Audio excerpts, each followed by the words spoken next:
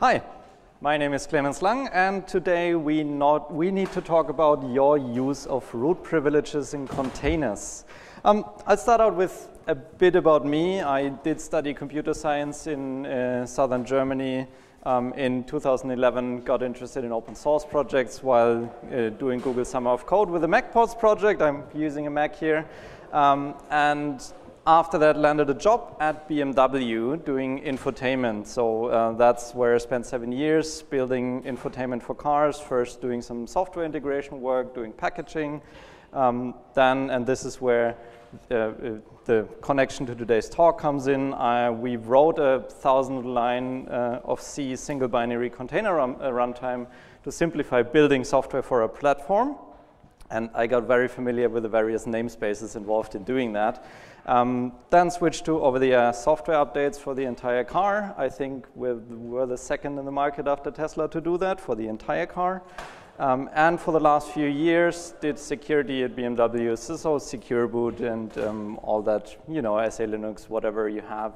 Um, and that eventually brought me to Red Hat, where I now work in the crypto team. So first note, I don't do anything with containers in my day-to-day -day work, right? So this is sort of a talk from an outsider. Um, and what I'm doing at the moment is uh, I patch OpenSSL. Um, I try to get rid of SHA-1 where I can. You know, that might have fallen on some of your feet recently. One of the culprits was me, probably. And I'm also dealing with uh, FIPS certification, because that's a fun topic for everybody. So, root and containers, right? Before there were containers, there was some conventional wisdom that we always applied. If you run a service, create a separate user for it, just for separation purposes, right? Um, and while, you know, then Docker came along and we started running everything as root again because that's just what Docker did, but nobody thought this was a problem. Um, and honestly, we still don't think it's a problem, and it probably also isn't that big of a problem, right? So just to put the entire talk into perspective for you. Um, I brought an example here. Let's assume I create uh, a directory in varlib, and then I bind mount that into a container. Um, that container is running as root, so I'm running the entire command as root. And inside that container, um, I just happy, happen to copy bin cat into that bind mounted directory and uh, then run a chmod command to give it the set UID bit. Um, so that means anybody who runs that binary now will get effective root permissions. Um, and that also works outside of the knet container. So if I then outside of the container switch to user nobody, run that particular binary, um, and uh, give it an argument of etc shadow, then I will get the contents of that file, even though the nobody user should normally not be allowed to read that. This isn't really a surprise to anybody, um, and it's not really a security vulnerability as is, because you know if you bind mount stuff in, then you should know what you're doing. So this isn't a surprise. But you know, if we were running this with rootless Podman, then this wouldn't be an issue. You would still get a setuid binary, but it would be for that particular user that might not have privileges to do anything else. So we could improve by running this container as rootless Podman. Right, so running things as rootless Podman. That brings us to the issue of networking, because if you want to offer a service, then you probably want network in your container.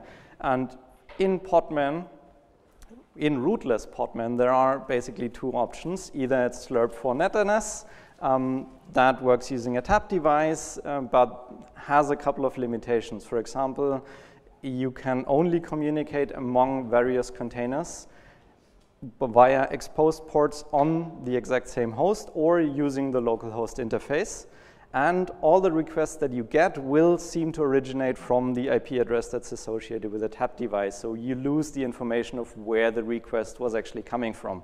And you might want to use that to filter, you know, for which IP networks you offer a particular service.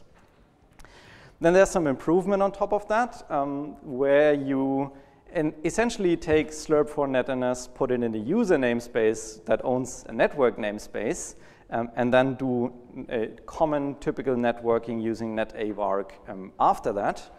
That's great because it now allows you to um, uh, do standard networking between containers, but it still uses the, the slirp4netns device, so all requests still originate from the same IP address.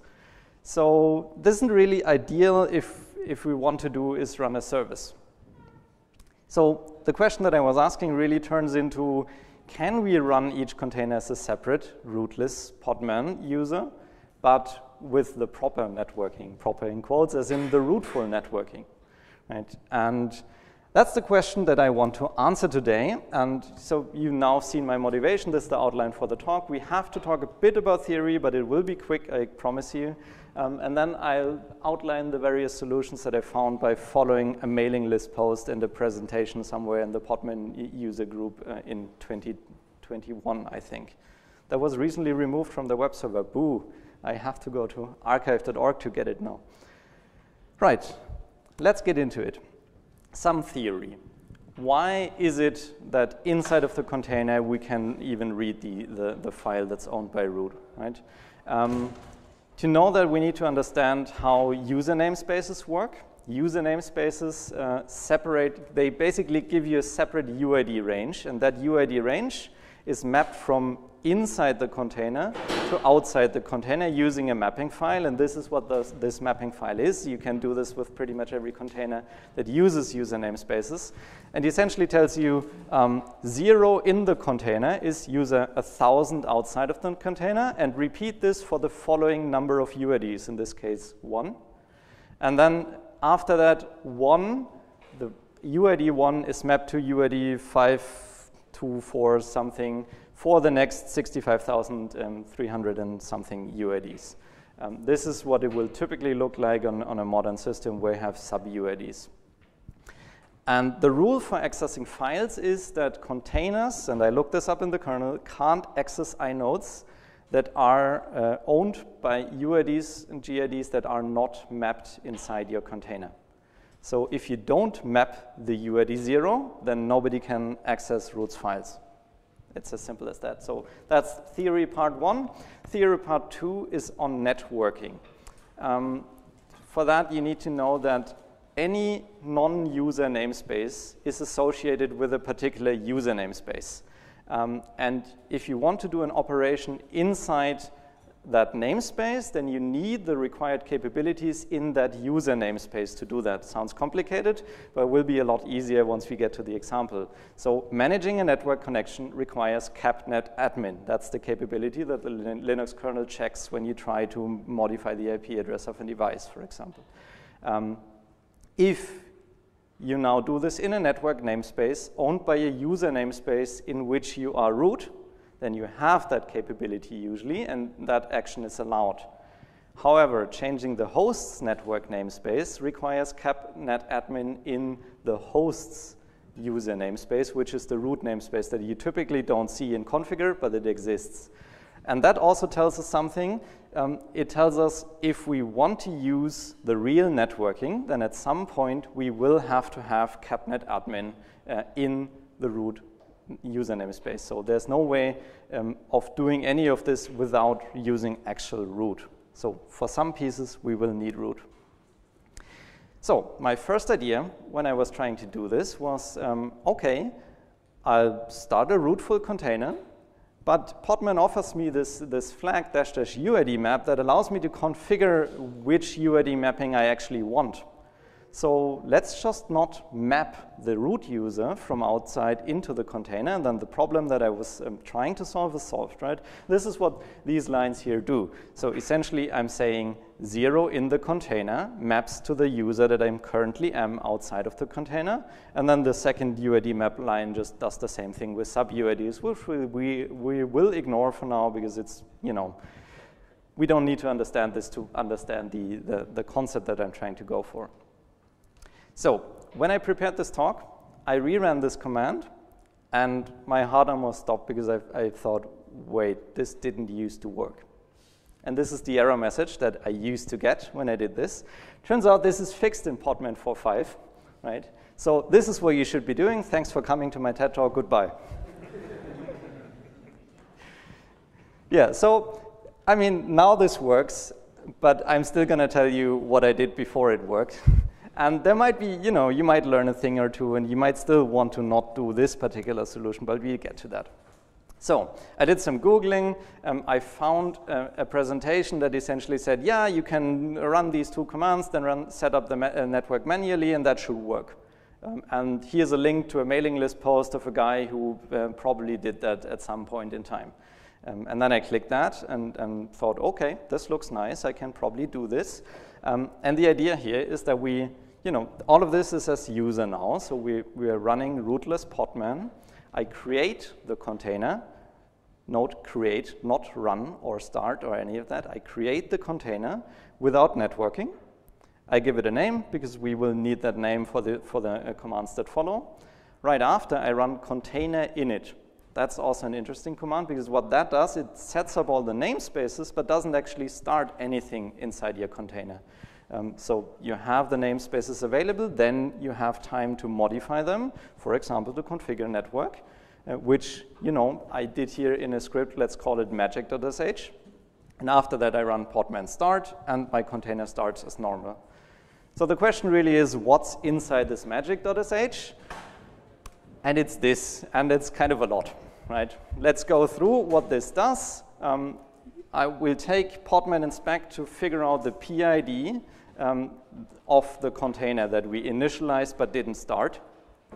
Then this next, the, the uh, sudo ln line is really just to give the network namespace a name that the IP utility from the IP route package can use. Um, and then I do what Podman initially uh, or internally also does, which is set up a virtual Ethernet pair, move one side of that Ethernet pair into the container, um, then rename it into the inside of the container to ETH0, which is what we would expect the network's name to be, and then bring it up on both sides and configure an IP address so we can uh, have communication going on.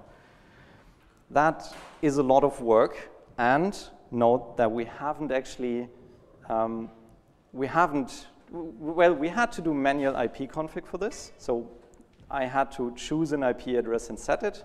Um, then Podman inspect won't know about this because we didn't use Podman to configure the network. Um, we must repeat this every time we start the container. And I haven't yet dealt at all with exposing ports, which requires ri writing firewall rules, which I really don't want to do manually. This is like tedious work. And I, yeah, I could probably write a script.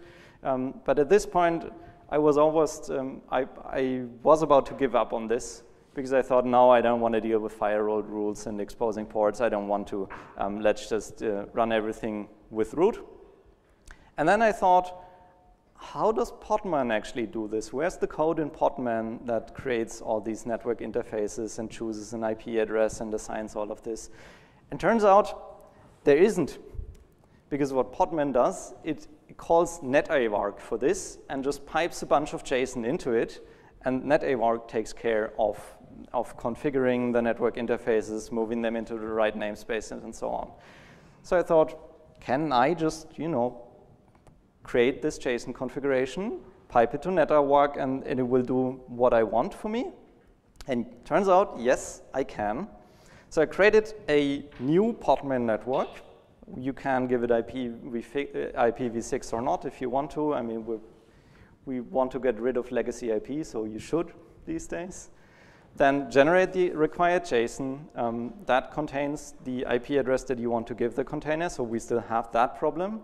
Um, you, that contains the exposed ports, and then pipe that to a netavark setup with um, a path that identifies the network namespace in which you want to do this. Um, and then that will give you in return a name server, configuration that you should somehow get into the container. I was lazy, I just wrote it to etc resolve conf. Right, what does that JSON structure look like? Unfortunately, it's not documented, at least not in the netavark um, uh, readmes or documentation, and also not in the Podman documentation.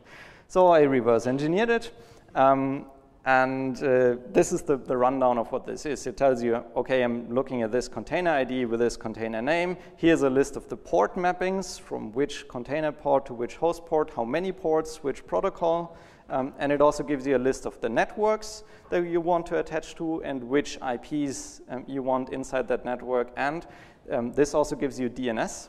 So you can get name resolution and service discovery if you also specify uh, name aliases for that. And then there's this block network info um, here at the bottom that I omitted because it's really just the output of podman inspect on the network. Right, and this is the point where I show you that this works. And let's pray to the demo gods because I'm running this over Wi-Fi.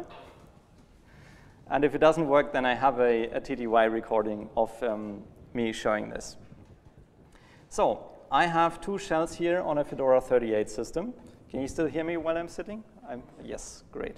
I have two shells here on a Fedora 38 system. One is root and one is um, the test user. And I said we want to start out as the test user, so let's do that. I want to define a runtime directory.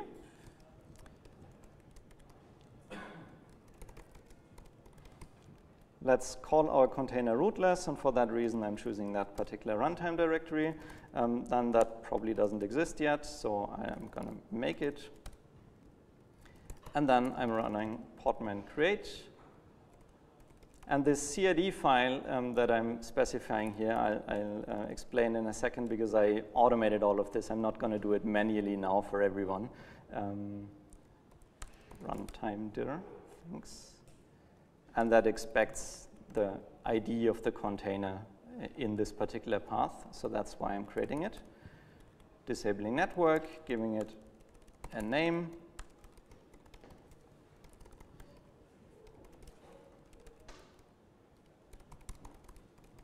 and we're starting Fedora 38. And just for the demo, we're starting a Python web server on port 8088. Right, so this was created now. Now I need to run this um, container init command that we saw earlier.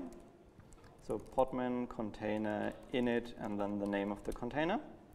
That um, passed. And now we can see in podman ps-a that we have the container, it's in status initialized. It's not running yet, right? So let's get the PID for this. So we can see what's going on. How am I time-wise? I'm probably, I should probably skip some of this.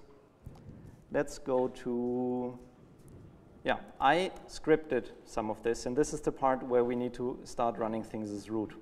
So as root, I have a script here that allows me to set this up. Now I need to use the exact same runtime directory that I used here. So let me copy this and fix it because obviously id-u will return something else. Then I run setup. I specify um, a name that's used to generate an IP address. So in this case, I just use the container name again. Um, then I have a secret that I use so that the IP address isn't predictable that I'm generating. Um, test is the user that I'm running the container under. Then I want to attach this to the rootful zero network. And I let me quickly check that this network actually exists so we don't get an error. It exists.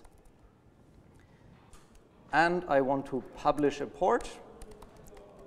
That's 80 to 88 so uh, 80 is outside of the container, 8080 is inside of the container. And I could also specify a network alias here, but I'm not going to show you the resolution anyway, so let's just skip it. I mistyped something.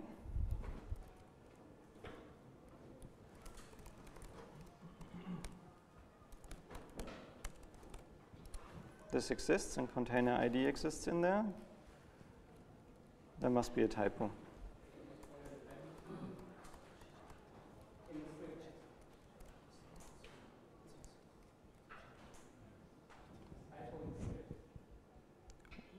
Where I don't see it, can? No, no, that's not, that's not the issue. I mean, at this point, um, this is the case where, I, where I'm stopping this and just showing you the recording um, because I don't have time to debug this right now.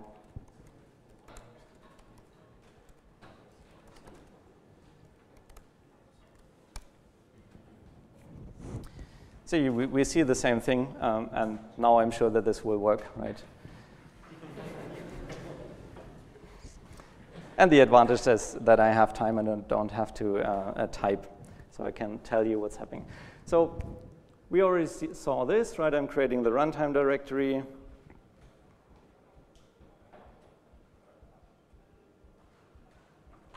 Then create the container.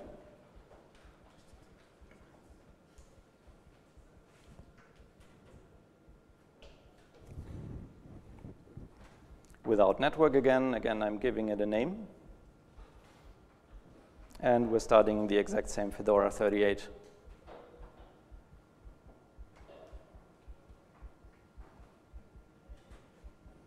Container is created. Container is initialized. Then again, we see the status is initialized here.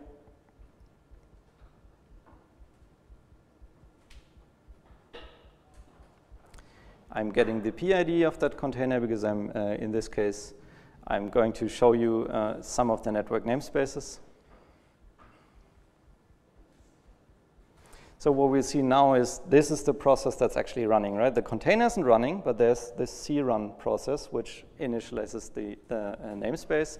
This also lists the namespaces that we, that we have. So um, if you have time to look at the details, you notice that the numbers are different behind this. So this means that the namespaces have in fact been created, both the user namespace and the network namespace. Right?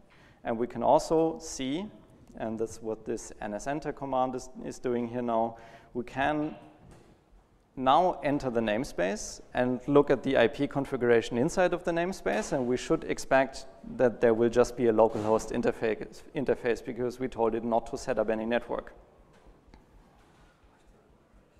And that's what we see here, right? So there's no ETH0, no other network connect, uh, connectivity.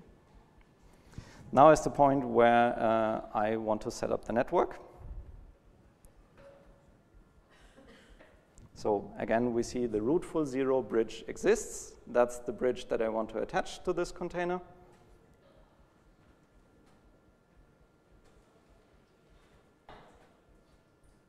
Again, the path to the container, to the runtime directory that it created, setup to tell it to set up. Rootless is the name, um, the, the secret that I use to generate the IP address. Test is the user. Rootful zero um, is, the, uh, is the network name then publish, because I want to publish a port, and in this case, I'm also specifying a network alias um, that uh, will be in the, in the DNS server inside of the container. And this is the successful output. A lot of JSON, you don't need to understand it, it just gives you the uh, network, uh, uh the DNS configuration, and now we see if we rerun this nsenter command that the Ethernet connection exists at this point. Right, and if we want to, um, right, now we need to start it, obviously, because the, the process inside the container wasn't running yet, so I ran podman start rootless, now it's running. And now we still need to test it because, you know, if, it, if we didn't test it, then it's broken, obviously. So I'm figuring out my own IP address um, and using curl to uh, send an HTTP request to the Python web server inside of the container, and it works. So our networking worked as expected. I'll skip the stopping because we're running out of time. Um, I also have this same thing automated with systemd. So uh, I put the exact same commands in a systemd service file and the lines that require root privileges, systemd allows you to just specify a plus at the beginning of the command and that will run them with root. So that's a nice trick to get all of this in a single systemd service file. I'd show you, but we run out of time. So you'd have to go to the website where I published this. Um, you don't have to scan the QR code now. It will be on the last slide again, um, so no hurries. Um, and that also will contain this um, rootful networks Python script that I just used um, to do this. Right? So what did we achieve so far? We now have automatic IP configuration, even though you know I had to re-implement it, but the script does it for you. Otherwise, Podman uh, would have done it. Um, we can expose ports. Um, with the systemd service file that I talked about, I can have this container controlled by systemd, and that takes care of correct startup and teardown. Podman inspect still won't know about this network because we added the networking manually. And um, if we try to run, uh, try to use systemd notifications, that also won't work in this particular configuration because systemd will refuse the notify. It will see it, but um, it will refuse it.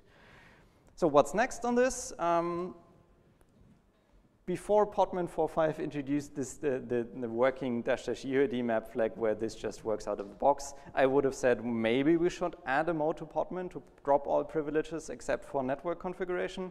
Now I'm not so sure. Honestly, if you're on Podman larger than 4.5, probably just use UID map um, to do the same thing. And maybe there's some improvement to be had for rootless networking. There's a talk tomorrow at 9.30 um, on rootless less container networks get in shape with Pasta. So if you uh, want to give that a shot. Right, that's it. Thank you for uh, attending and any questions.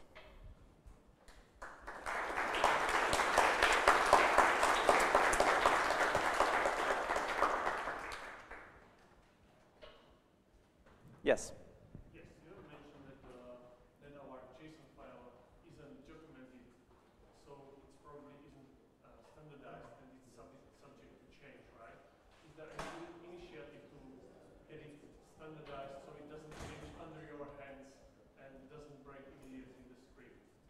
Right, the question was um, then the JSON format for Netavark isn't documented, so probably not standardized. Am I afraid that this will break with the next Netavark update? Yes, very. Um, on the other hand, it's also a interface across two processes between Podman and Netavark. So um, I know those two are developed in, uh, in unison, but um, I'm at least hoping that they will preserve backward compatibility and what I'm currently doing will continue to work. It also looked like um, somebody really wanted to document uh, the JSON interface, just didn't. So I think that's the, that's the lack of time is the only reason why it wasn't documented. Yeah.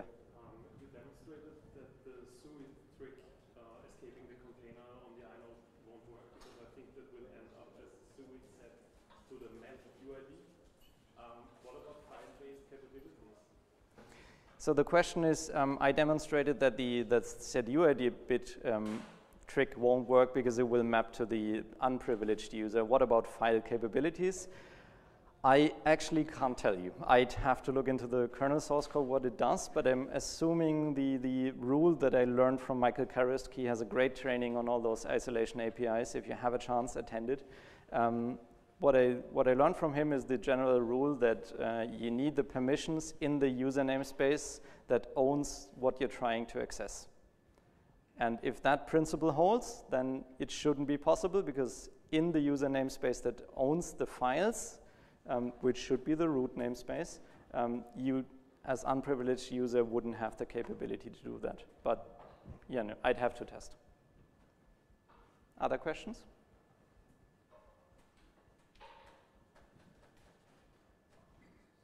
Questions from the internet, maybe? Then thank you and uh, enjoy DEF.